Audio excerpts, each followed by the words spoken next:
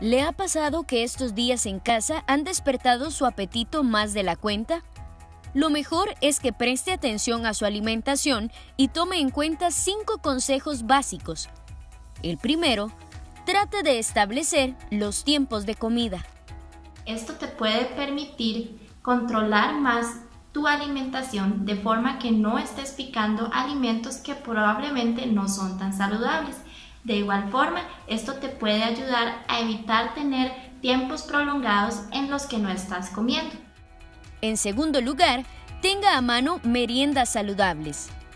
Es preferible que evites aquellos alimentos que son muy cargados en grasa o muy cargados en azúcar, como lo son los dulces o las galletas con relleno o galletas muy azucaradas. Es preferible que tengas a mano meriendas o snacks que sean fuente de fibra, ya que la fibra te permitirá sentirte lleno durante más tiempo y eso te ayudará a controlar la ansiedad. Algunas meriendas que son fuente de fibra pueden incluir las galletas integrales o los productos integrales en general y también las frutas y los vegetales. Y si usted no tiene tiempo porque su trabajo lo requiere a tiempo completo, en este momento en el que tenemos un poco más de tiempo en nuestros hogares, podemos aprovechar ese tiempo para cocinar preparaciones saludables e incluso para tener listas preparaciones para aquellos momentos en los que no vamos a tener tanto tiempo.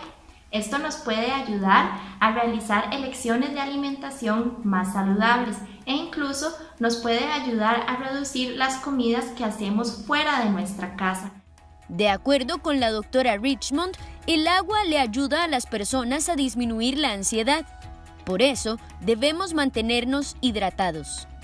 Durante el día deberíamos consumir al menos 8 vasos de líquido, de los cuales 4 deberían ser de agua pura.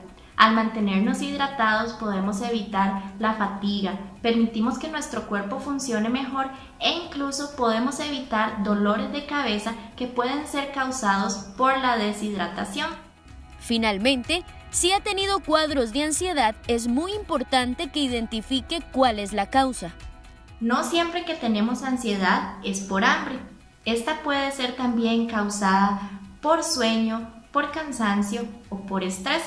Es muy importante que tengamos periodos de descanso, que respetemos nuestras horas de sueño y que hagamos ejercicio para mantenernos activos y poder liberar el estrés que podamos estar teniendo ante cualquier situación.